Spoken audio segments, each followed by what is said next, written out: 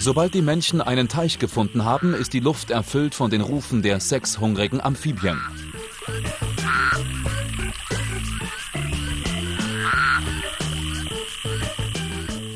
Die Weibchen erhören die Rufe und die Paare verlieren keine Zeit, um zur Sache zu kommen.